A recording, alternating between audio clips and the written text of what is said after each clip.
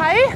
Kan jeg få lov til å gi deg en blomst fordi at du bruker sykkel? Oi, så hyggelig. Takk for at du sykler her. Tusen, tusen takk. Verden trenger flere som deg. Tusen, tusen takk. Geværet takker deg for at du viser vei. Vi håper flere gjør som deg. Geværet takker deg for at du viser vei. Vi